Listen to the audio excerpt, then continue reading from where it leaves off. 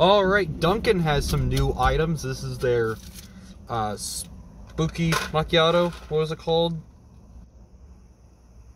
Their potion macchiato. I want spooky macchiato.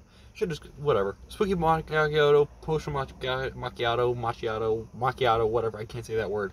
Uh, whatever you think of it is.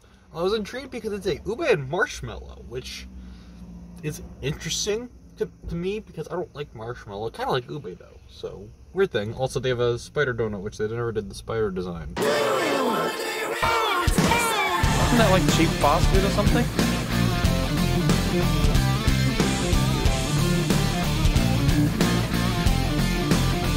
I got this reviewer coming. After the review, Hey everyone, welcome back to an episode of Fast Talk, the fast food show where I talk about fast food, talking faster about it. And how is Dunkin' Donuts' new spooky macchiato? Potion macchiato. Gosh darn it!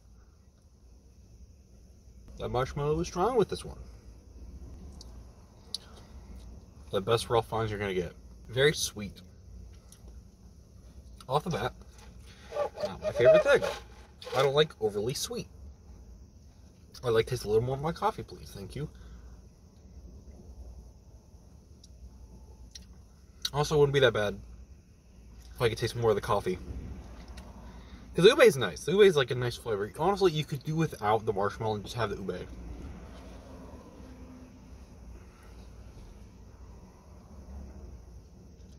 Ube just sounds like a Batman villain. Or is that Ubu? One, two. But this isn't bad. This is, for what it is, it's not that bad. I got a very solid eight and a half out of ten. Um, the sweetness I can get over. The actual flavor of the coffee is actually kind of fun.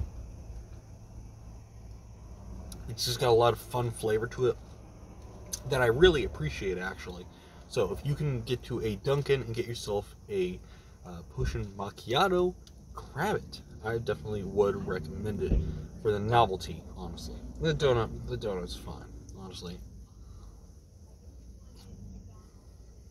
Really not. Didn't do the spider design. Are lazy. They're actually out of the buckets, which I was kind of bummed. I didn't want the lunchroom bucket. But you might. What do you think of it? Do you like it? Hate it? Dislike it? Like me. Let me know. Also, while there, leave a like and subscribe to the channel. Follow me at FT underscore News, and guys, have a day.